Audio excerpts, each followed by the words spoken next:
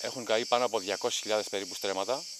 Ε, για μένα είναι περίπου το 1 τρίτο του νησιού αυτό που έχει καεί. Ε, καταστραφήκαν όχι μόνο δασικές εκτάσεις με παρθένο δάσος ε, αρκετών ετών, ε, βιοπικιλότητα και ζωή από βότανα μέχρι οτιδήποτε μπορείς να φανταστείς το οποίο η Ρόδος φημιζόταν για όλο αυτό.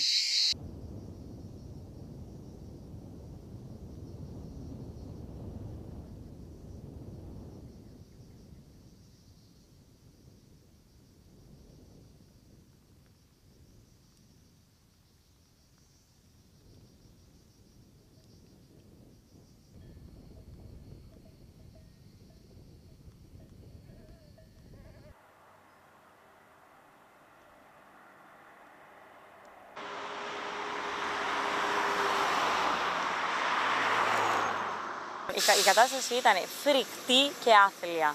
Κάποια στιγμή πήγαμε, ε, περάσαμε το δρόμο απέναντι για να πάμε να δώσουμε τρόφιμα ε, στον Πελεκάνο, το σε ένα μαγαζί που ήταν εκεί πάνω μαζεμένοι και οι φωτιές, οι φλόγες ήταν δεξιά και αριστερά.